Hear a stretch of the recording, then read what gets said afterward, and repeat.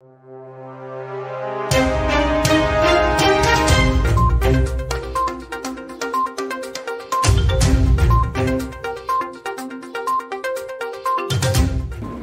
all, welcome to VARINDIA News Hour.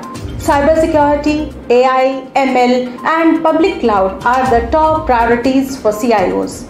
AI is changing the game for cybersecurity, analyzing massive quantities of risk data to speed response times and augment under resourced security operations.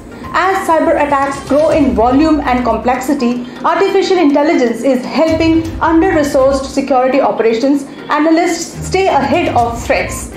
There is no doubt that CIOs are helping their organizations to be successful in the new world by sharpening their focus on technology investments and workforce engagement. Curating threat intelligence from millions of research papers, blogs, and news stories, AI provides instant insights to help you fight through the noise of thousands of daily alerts, drastically reducing response times.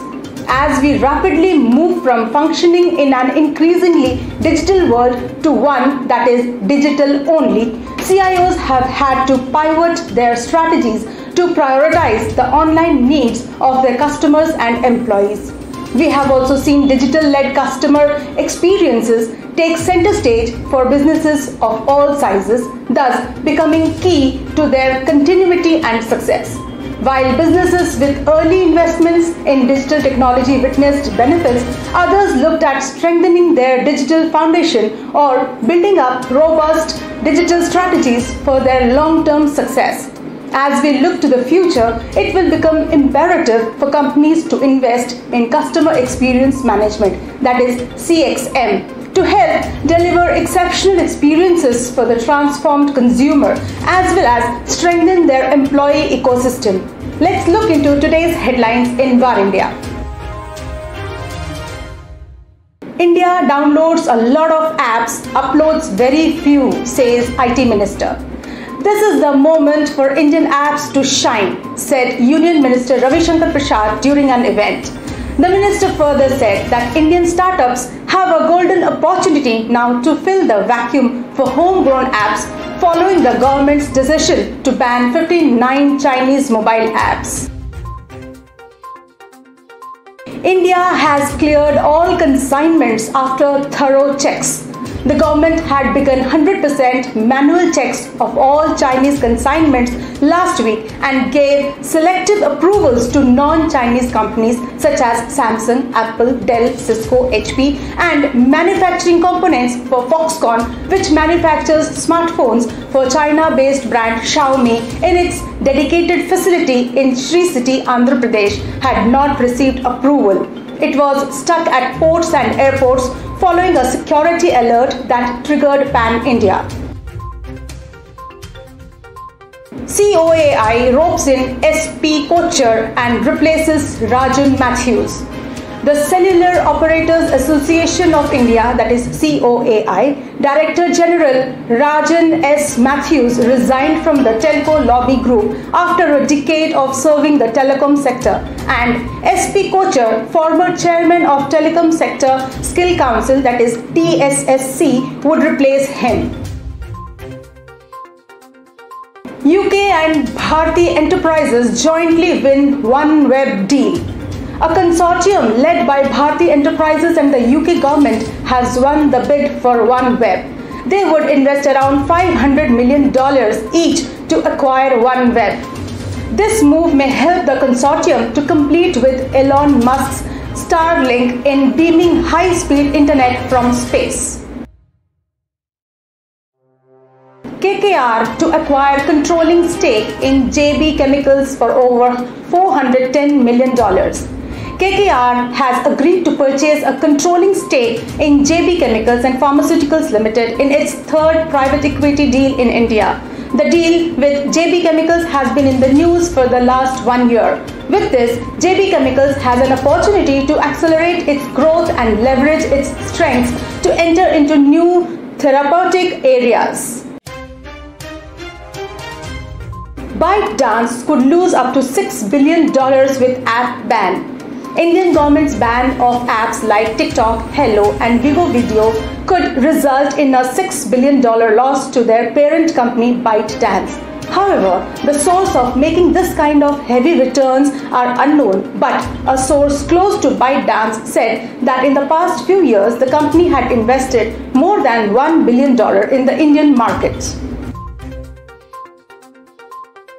Google acquires North to stay in line with the competition.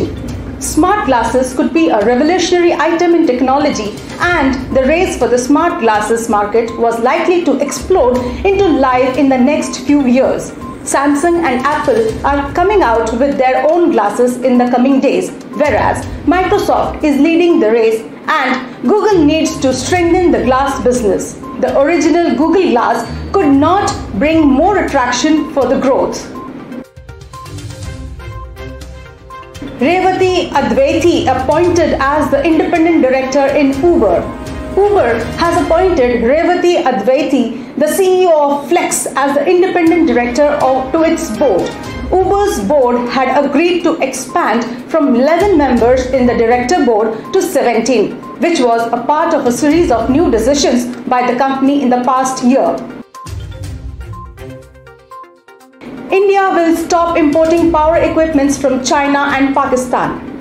R.K. Singh, Power Minister, said India will not import power supply equipments from China and Pakistan.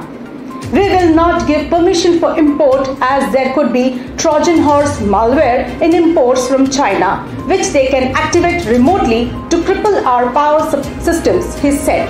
We cannot tolerate a country transgressing into our territory.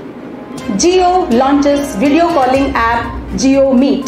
Reliance Jio has launched Jio Meet, a video calling app to bridge the industry gaps. It is like Zoom, Google Meet, and Microsoft Teams, and many more. About 10 different companies are into this segment. JioMeet offers unlimited free video calls to its users. It is available in Google and Apple's App Store. The app can also be used on laptops, PCs, as well as smartphones. Finally, 98% of organizations across India have seen COVID 19 impacting business functioning, with CIOs facing challenges in helping their teams to communicate effectively and having the right technology deployment to ensure smooth business continuity. In India, cloud computing with 58% and mobility 56% were named as the primary challenges. Additionally, while 97% of businesses in India initiated planning for when restrictions are eased, Close to half of the organizations are still in the early stages of planning, with 63% of the respondents in India being optimistic about their organization's ability to find success in the post COVID 19 economy and committing to a positive outlook. COVID update India records first ever over 20,000 new COVID-19 cases with the biggest one-day rise in coronavirus cases as 20,903 people tested positive in the last 24 hours. With this, the number of coronavirus cases in India has risen to 6,25,544 according to the Ministry of Health and Family Welfare. The coronavirus death toll in the country has risen to 18,213, while 3,79,892 coronavirus patients have been cured or discharged or migrated.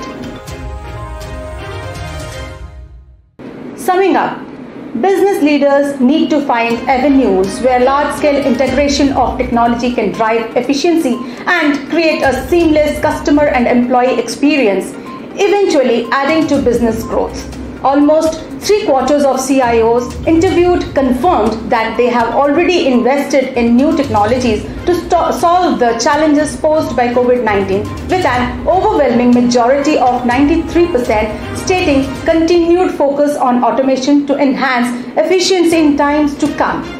When it comes to artificial intelligence and machine learning adoption, 82% Indian organizations are already using these capabilities to implement an existing project. As per the survey of Adobe, the potential of emerging technologies such as 5G, 67% of CIOs cited as this making a major impact to business operations in the next five years. One fourth CIOs in India have listed data related issues as being the biggest challenge to implementation of AI in operations. Secondly, a staggering 89% of CIOs in India agreed to placing greater importance on cybersecurity issues. They also revealed that their organizations faced security related issues last year and reasserted that cybersecurity continues to be one of the most cited areas for planned investment. At the same time, many organizations plan to increase headcount across AI, ML, automation, cybersecurity and privacy, public cloud and infrastructure. Last but not the least, the current business landscape has brought forth the critical need for business to take steps towards digital transformation and ensure workplace efficiencies. Let's wind up for the day, but do not forget to like, share, comment and subscribe to VARINDIA News Magazine. Please download the VARINDIA app for the latest news and updates which is available on Google Play Store. Stay tuned for more updates. Thank you.